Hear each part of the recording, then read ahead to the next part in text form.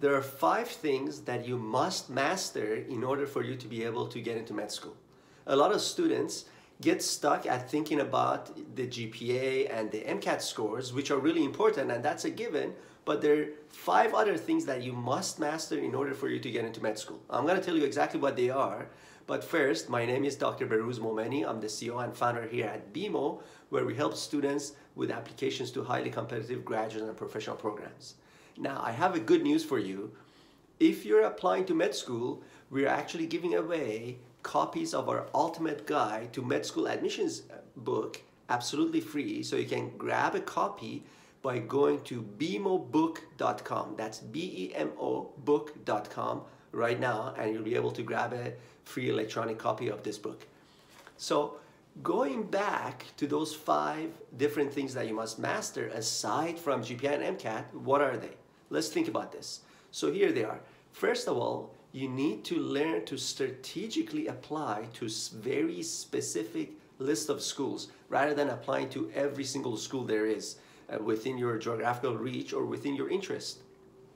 This is really important because if you apply to inappropriate schools, of course you're not going to get in. So you need to learn how to strategically select schools that make sense based on your own unique experiences and of course your own GPA, MCAT scores and other experiences that you have. Second thing that you need to master is you need to be able to select individuals who are going to write you outstanding letters of recommendation. So your referees can't just be anyone. They, you have to be able to, again, strategically uh, select uh, individuals who are going to write really good letters of recommendations and something that admission officers are looking for.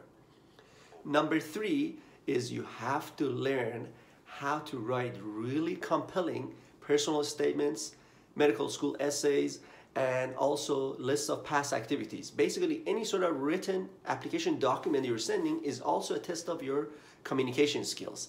And because they get a lot of uh, applicants each year, sometimes, you know, in the tens of thousands, yours has to be really, really fantastic. There is no way around it. Now, once you've taken care of your applications, of course, you also have to do really well on your Casper test. In fact, if you don't do well on your Casper test, depending on what school you're applying to, you're probably not even gonna get to the interview stage. And the fifth uh, sort of a thing that you must master is interview skills. And they take a long time to develop, similar to uh, skills for the Casper test, because both of those are functional tests or behavioral type tests.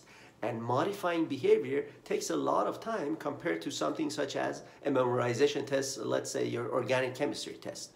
So you have to uh, strategically plan for all these five stages of your application process and make sure you know everything there is to know before you actually get to each stage.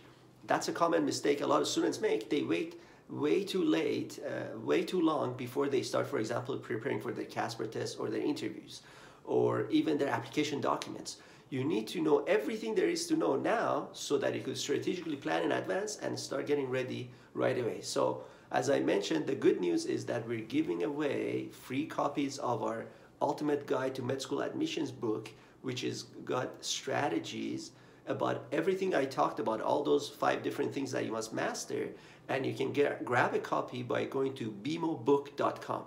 This is going to include uh, information about how to make your application stand out, how to write excellent uh, medical school personal statements or essays or list of activities. It tells you how to choose uh, specific schools where you have a great chance of getting in. It includes strategies for choosing your referees. Of course, it includes strategies for preparing for the Casper test, including sample question and answers.